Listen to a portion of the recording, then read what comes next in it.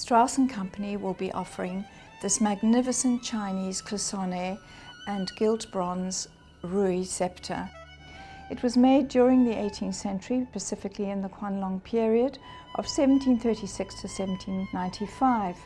It's very finely inlaid with beautiful lilies and geometric motifs. The dragons are in high relief in these gilt bronze medallions and are rising from the ocean into these magnificent clouds. The term ruyi means as you wish and it's extremely auspicious and precious object and considered of great value. Wonderful cloisonne work forms at the back of the head of the scepter and down into the base.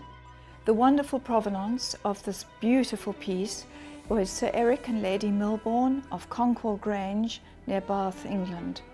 Sir Eric was an honorary advisor on shipping and port activities to the Minister of Transport.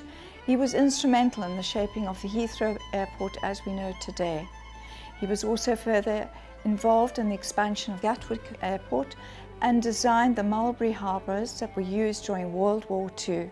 He was knighted in 1950 and received the award of St Michael and St George.